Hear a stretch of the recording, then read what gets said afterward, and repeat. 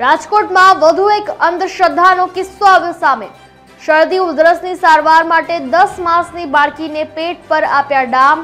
તો આ દસ માસની બાળકીને પેટે ડામ દીધેલી હાલત ગંભીર થતાં સારવાર માટે તેને રાજકોટ બાળકોની હોસ્પિટલ ખાતે ખસેડવામાં આવેલી આ કોમલ સુરેલા નામની બાળકી શરદી ઉધરસ થતાં હોસ્પિટલ લઈ જવાને બદલે તેને મંદિરે લઈ જવામાં આવી.